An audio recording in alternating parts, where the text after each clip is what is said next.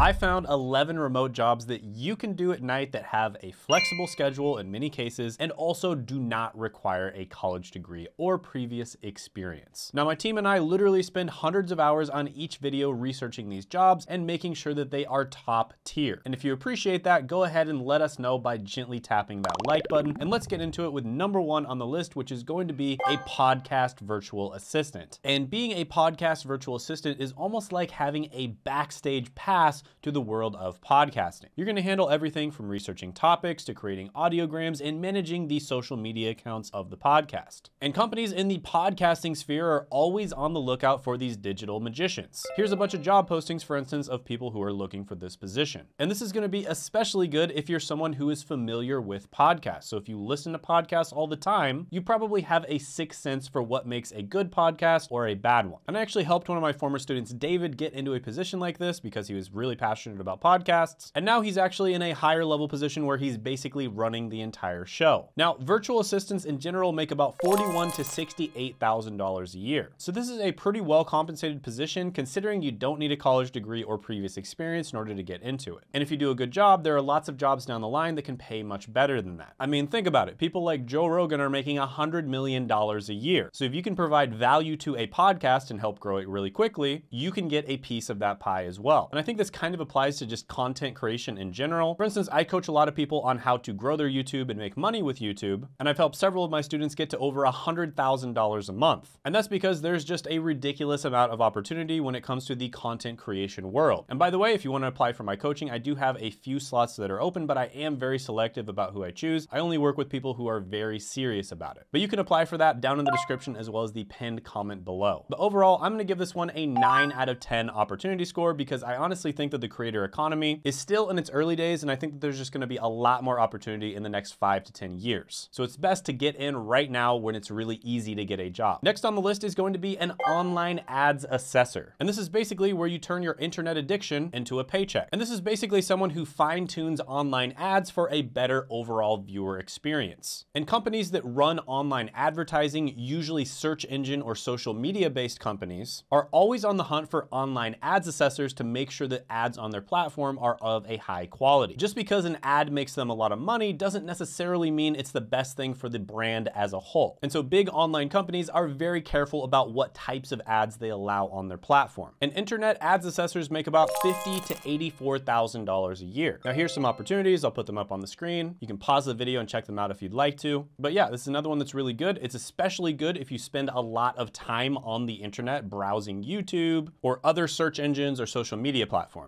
Overall, I'm gonna give this one an 8 out of 10 opportunity score. Next on the list is very interesting, and that's going to be weekend freight tracking. This is a job that's relatively easy to get, especially if you're willing to work on weekends. Basically, their job is to make sure the deliveries get to the place that they're supposed to get to on time, especially over the weekend. And there's also a lot more opportunity for this type of role if you are willing to work at night. Now, roles related to freight tracking in general make about $43 to $66,000 a year. So this is really, really good, especially considering it's an entry-level role, doesn't require a college degree or previous experience. Here's some job opportunities. I'll put them up on the screen and you can check them out if you'd like to. So yeah, this is another really solid one. I'm gonna give it an opportunity score of 7.5 out of 10. There's honestly still a ton of opportunity when it comes to logistics or shipping and anything that involves getting things from point A to point B. Next is going to be a corporate travel agent. And this is someone who specializes in arranging complex travel plans for corporate employees. And in many cases, you'll be working with executives or high level management, or in some cases, working with people from other companies companies or clients. And your job is to basically assure that they have a seamless travel experience. So this involves setting up flights, of course, making sure that their hotel is booked, but also making sure that they have transportation once they're on the ground. And extra points if you make sure they have a good experience once they're in the city as well. Now, corporate travel agents typically make about $47 to $73,000 a year. And again, that's really good considering it's entry level, doesn't require a college degree or previous experience. And by the way, sometimes I get comments down below that, you know, they look up the job posting and it says that they require experience. This is something that I cover in videos that I talk about how to land an actual job.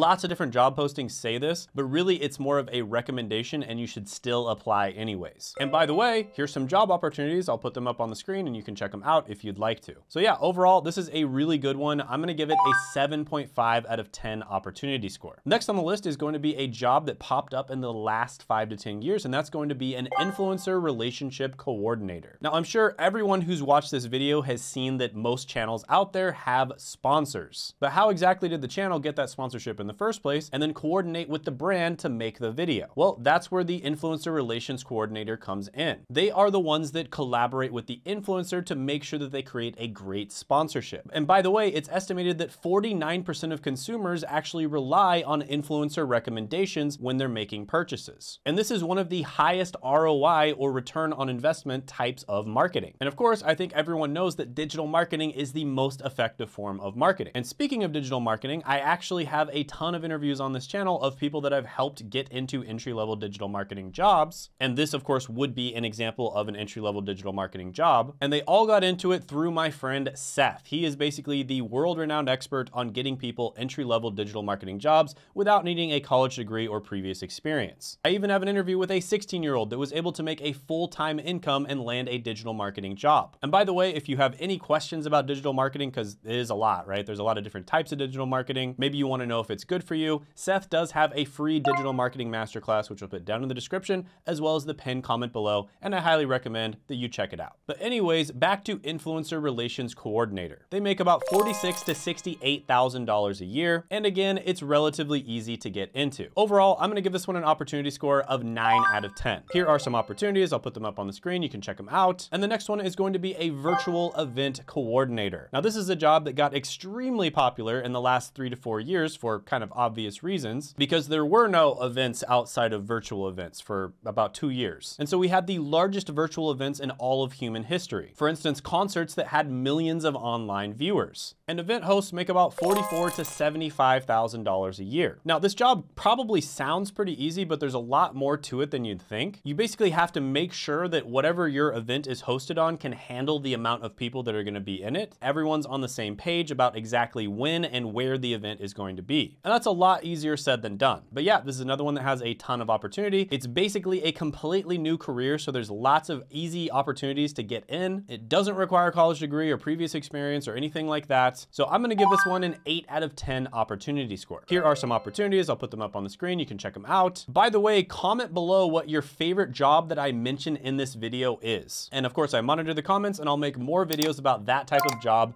in future uploads. Next is going to be a remote executive account rep. Now, this is the first one on the list that is not going to be an entry level job because you're basically going to be working for the sales part of a company and you're going to be handling large accounts. And by accounts, I mean contracts that could be worth hundreds of thousands or even millions of dollars. And so they're typically not going to put newbies in charge of this type of thing. And you're basically going to be the middleman between a company and the company's large clients. Now, you would typically be working for what's known as a B2B company, which means business to business. And so you would be working with other companies. And so this is a pretty big deal because you are going to be like the face of the company. You represent that brand. And remote account executives make 73 to $132,000 a year. So you can make a ton of money doing this. In fact, if you're in the right industry, I know account executives making over $500,000 a year. So basically, in order to become an account executive, you do need to have some sales experience first. But I've seen people become account executives within one to two years after starting their sales job. So overall, I'm gonna give this one an opportunity score of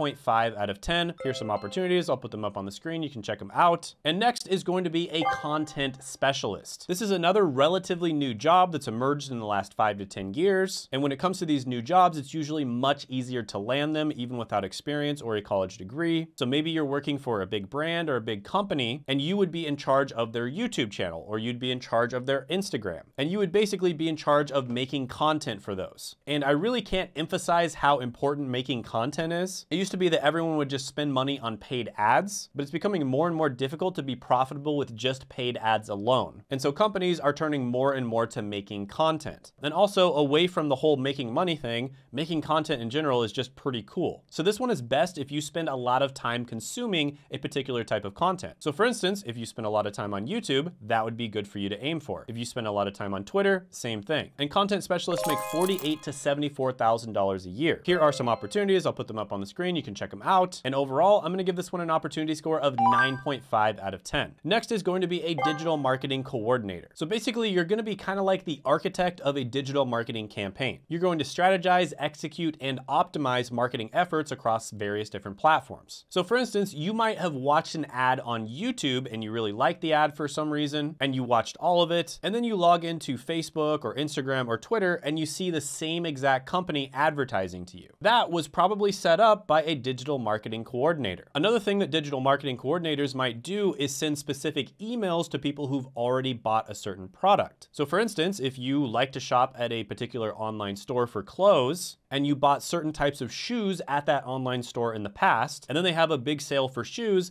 they'll probably send you that email specifically because you're much more likely to purchase it because you've bought that kind of thing in the past. Now, digital marketing coordinators make about $47 to $69,000 a year. Here are some opportunities. I'll have them pop up on the screen, and I'm gonna give this one an opportunity score of 8.5 out of 10. Next is going to be a chat support associate. More and more consumers are getting tired of having to call customer support, and they're expecting companies to have chat chat support available. And chat support is actually one of the most popular ways of getting customer support. And they estimate that 51% of consumers say that they would buy again from a company if they have chat support. And it makes sense because typically it's much faster to get an answer from somebody if you type to them in a chat. And chat support makes about $34 to $57,000 a year. So I'm not gonna lie to you, this is probably not the most glorious job out there. It's still a customer service job at the end of the day, but you don't have to talk to really rude people people on the phone. You just have to type to them. So I'm gonna give this one an opportunity score of seven out of 10. And here are some opportunities. I'll put them up on the screen for you. Next is going to be a remote review writer. And this is basically a position where you write reviews on different products or services. Now there's lots of opportunities out there for this because a lot of the time people will go to review sites before they buy something. So for instance, if you've ever purchased a car, you probably looked up like 20 different review sites. And the salary here is really good. Here's the Glassdoor salary. They typically make about 25 to $35 an hour. Here are some opportunities. I'll put them up on the screen. And I'm gonna give this one an overall opportunity score of